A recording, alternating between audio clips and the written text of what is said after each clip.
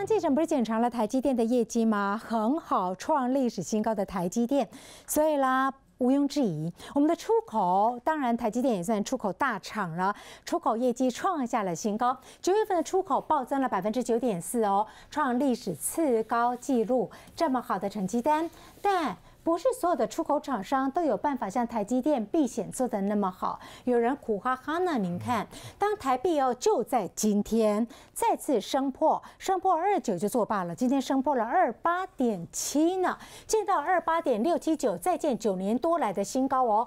机械业者说，完蛋了。等同白做工了，我第三季赚的全部都吐掉了，白赚了。这是呢，机械工会理事长特别讲到，他说呢，台币二九防线一定要守住，如果呢升破，机械厂商白做工。三年来，台湾、韩国的货币汇率相差了达到百分之十，央行应该要跟随主要的竞争国，像韩国，韩元贬，台币就贬，这是他的说法，有中情上来。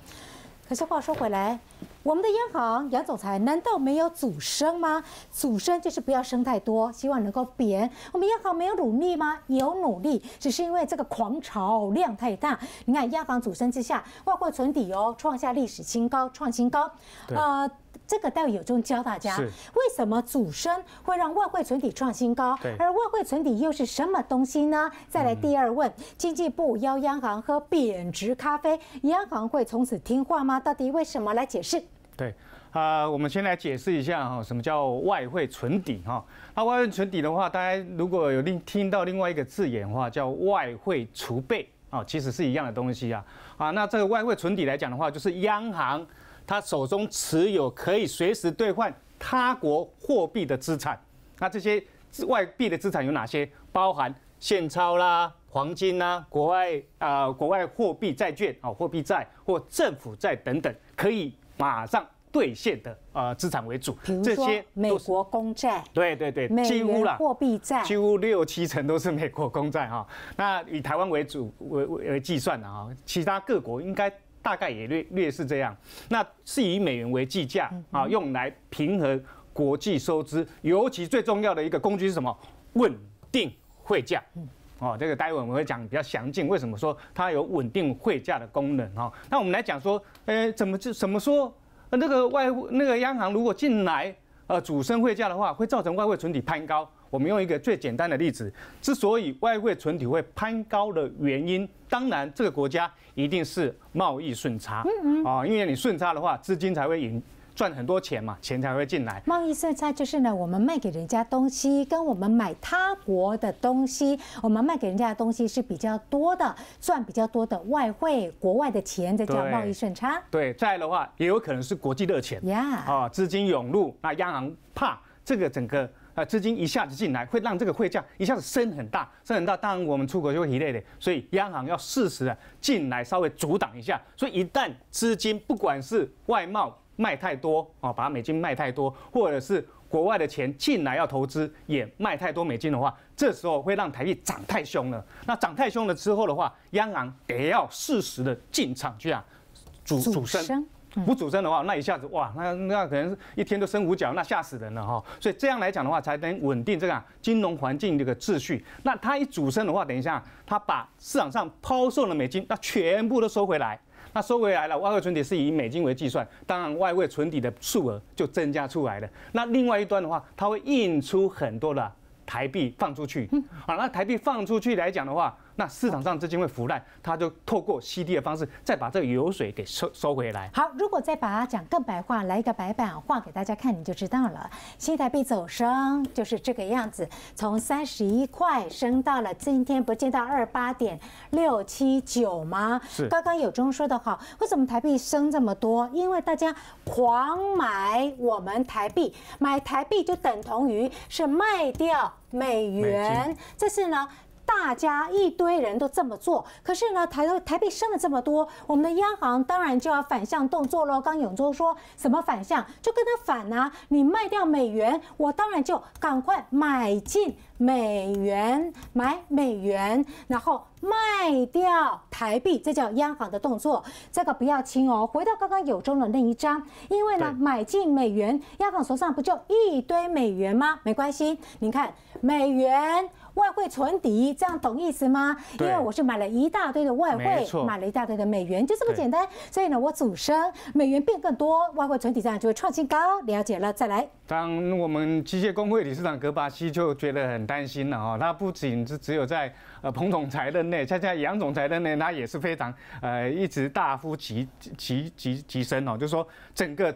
升值的话，台币升值的话，对于传统产业跟机械产业等产业的话，是造成很严重的一个紧张跟影响。所以为什么经济部这时候要？急得啊，要跟央行坐下来好好的谈一下，啊，是不是适度的话，哪时候趁时间点可以让台币贬值一下？所以有中接下来我要问了，我们进入有中的第二页，也就是呢，出口厂商到底他们会怎么说？第三季赚的完全是白做工，显见我们生态猛，那他们毛利率应该也比较不高，对不对？对，当然了，这个有息息相关。我们来比较一下哈，今年年初以来来讲的话，台币的升幅已经高达。到盘中的价格哈，破了二十九块以下的那个盘中价格，已经来到四点五四的一个升值的，日元才升二点五趴，韩元几乎持平了，没什么升到，因为它三月份大贬哦，所以整个来讲的话，我们知道跟我们主要竞争的呃产业的一个国家啊，主要就是南韩，南韩有什么产业？它就是面板跟低润，哦，那日本呢，跟我们比较相关的一个出口竞争是什么？是工具机跟机械产业。哦，所以为什么机械工会他会很紧张？因为他认为说今年有可能是做白工了。为什么这么讲呢？如果从去年年底台币的话，三十点一零六收盘。升到现在，目前如果到二十九块，他说最好能守住二十九块。如果二十九块一破的话，那就很惨了。为什么？二十九块的话，足足今年就是升了三点八趴。三点八趴的话，我去看了一下台中为主的这些机械工业哈，他们的出国产业来讲的话，他们的 margin，也就是他们的毛利率来讲的话，大概中位数了哈。因为隐形冠军的话五六成的哈，那呃那个比较比较惨一些产业的话，哎传统产业的话，搞不好毛三到四哈。那一般平均来讲，目前看起来来讲的话，平均大概中位数的话，出国产业的毛利大概落在一成左右。机械业的毛利率有这么高哦？对对，毛利率，因为它还没有扣扣掉管销，还没有扣掉管销。毛利率十 percent 算高嘞。对对，机械产业来讲的话，其实 margin 还算不会太差了哈。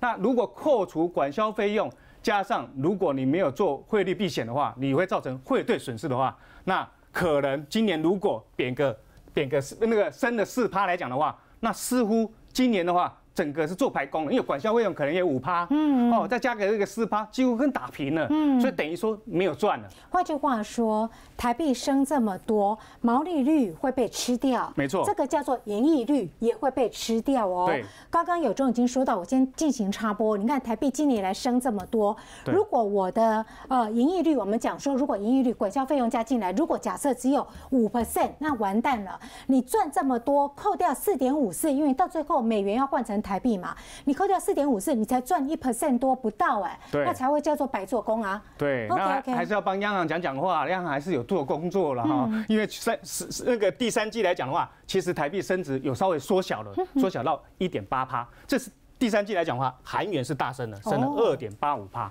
所以稍微有比较。呃，below 比较低于啊韩元哦，日元也升了二点三趴了，都有都有比这两个来的低的。显然央行有特别去压抑一下，让这个升那个台币升值幅度不要那么大。第三季就刚刚的九月份外汇存底创新高的关键。对，那我们说我们很担心呢，出国产业变成凄惨的惨怎么办呢？那这个产业的话，还是要回归到原轴。这个原轴是怎样？你产业要升级，升级的话就是你要创新，提高你的获利能力。那获利能力不外乎怎样？你要增加毛利率，要增加净利率，再来的话也要增加你的业外收入，这样才可以有效的这样去降低你汇率所造成的汇兑的一个冲击。如果把它讲到最终核心，对，就是呢，企业在避险部位要稍微做好，也比较灵活一点点。我跟你讲，以前台积电啦、英业达啦、台达电啦、广达啦这些等等，以前他们呢也会有带来很大的汇损。如果台币升比较多，人家现在很少听到他们抱怨，对不对？因为人家的避险做得很好。好，有时候非常谢谢您了，感谢这个出口厂商。如果毛利率啦、营业率啦稍微偏低，升了这么多，你看把钱汇回来，只能换回一丁点新台币，白做工。所指的就是这样了。接下来呢，哎，讲到了出口，我们东西帮人家做好之后，卖到这个苹果美国去，那当然也是出口部分了。可是苹果来这个明和请上来。呃，因为呢，这两样新产品要上市，所以喽，这四样产品，苹果就说那就不卖了。呃，我稍微补充一下，这四样新产品待会名额会讲哈，不是苹果的品牌，而是苹果跟这些的品牌大厂这些等等来进行合作，然后在苹果的平台来贩售。所以呢，是苹果跟它进行合作。那现在这些的第三方的品牌就不卖了，对不对？对。好，先来介绍新产品。好的，目前在下个礼拜哈是那个苹果要发表新产品呢，不是只有手机哦，它还包含了好听的像耳机这一块。因为耳机这一块呢，来这个重点就是属于在可旋转式的一个耳罩，这个属于耳罩式的耳机。什么叫可旋转式耳罩？这个是耳罩的地方有没有？这个地方它可以更换，还有个磁吸式的部分可以换电换那个颜色。哦，好，最简单的，我们举个例子来讲，你如果说你要去运动去跑步，好，你或者是要上健身房。好，那个你平常戴的 AirPods Pro 是不是容易掉？嗯，好，如果说掉的话，这个更容易掉吧？我跳两下就掉了。这个是它戴到头上套住的，它上面这边是一个金属的一个钩，这样子可以把它拉上去套在耳朵上。嗯嗯。所以相对来讲，一般如果说像运动健身房的话，是戴这种耳罩式，就属于这样整个包住的，比较屌哦，比较戴得住，比较不会说一下子那个 AirPods Pro 要掉了怎么办？一个就好几千块。所以这种地方呢，它有一个关键点，就是说为什么在比方说像博士啦，哈，或者是罗技啦，他们的产品其实都很好，那个产品的品质啊，包含了那种那个降可降噪啦，这些都没问题。可是一个重点，他们要打入这种高端的耳机市场，他们在这一次的一个新品发表会里面，很可能呢，在整个苹果就会推出这个。AirPods 那个 Studio Studio 的一个部分，就是可旋转式的一个耳罩。那么这种可旋转式的耳罩呢，除了我们刚刚讲说运动这些功能之外，其实最主要的它有很多的特色点。比方说无那个无线是基本的啦，好，再来就是说它可能会有触控。嗯，那个触控就是说你不用说拿下来，哎，把这个耳罩拿下来去调整啊，或者是说去做控制它，可能在旁边按一下，好，用触控的面板的形式呢去按一下就可以触控它。那这个呢？这个是属于 HomePod Mini，因为两年前苹果它推出 HomePod 的部分的时候呢，它主要有个重心，它要做什么？家庭的娱乐中心。它如果说像这个耳罩式的耳机或者是 HomePod 的一个部分呢，那个是智慧音箱嘛？那什么东西？对对，就是智慧，就是一个喇叭。简单的讲，就是一个喇叭，智慧音箱。但是是智慧音箱嘛？喇叭就是我们通常听喇叭就听音乐，而实际上不是，它是一个 controller，就是我对它讲话，它可以帮我家里所有的电器连线之后声控哎，对，帮我扫地，帮我开冰箱，帮我什么的。它就是从透过这个那个 HomePod 的部分呢，可以连接到其他的周边家电的一个装置。是吗？没错吧？对，没错。OK。然后这个部分呢，这两个重点还有个地方很重要。它可以开启之后呢，比方说透过触控，好，触触控，或者是开启这个属于 Siri 的一个功能，就像你刚刚所说的啊，它如果说要整个去对声控，说你要打开这个音响啦，或者是打开音乐，我要换下一首啦，好，我这首歌哎，二零二零的流行歌曲我不喜欢，那我就换下一首，都可以用透过 Siri 的方式用声控来做控制。因为这两个是苹果自己的品牌，所以即将要卖，这四款就不卖喽。对，没错，因为在像这个博士的无线耳机啦，或者是它的一个蓝牙的扬声器，就是喇叭。那么在博士，其实这些品牌来讲，它的快速充电、降噪，或者是防泼水，或者是通话的麦克风，这些的功能，其实大家都知道，品牌很好。BOSS 是很高档的，很高档的品牌，因为它能够多少钱呢？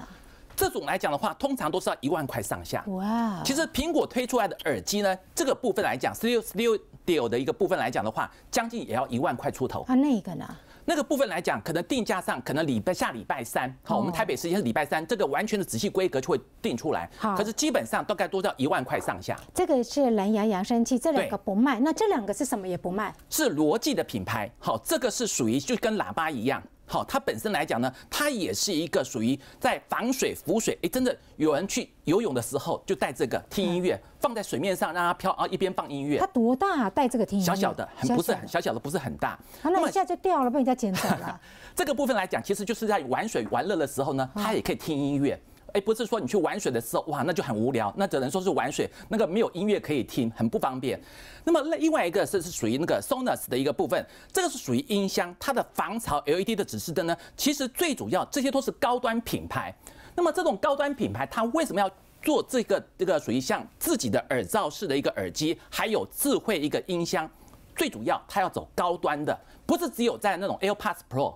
哦，所以走高端就把一些的这个第三方的品牌对就不卖了。对，那我问您哦，我要个答案就好。这两款以您的研判会卖得很好吗？我认为会。你是果粉吗？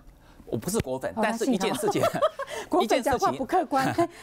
他们的东西做出来，大家都知道，苹果的品牌品质做得很好。OK OK。所以相对它为什么可以，所以可以说把这个像博士啦、或罗技啦，或者 Sonos，这些都是很好的品牌哦，能够说把这些好的品牌不卖。反而是用自己的品牌来带队，他对他的产品一定很有自信。我们国内这边应该也有相关的供应链吧？对，一定有。OK，谢谢明和来先请回座了。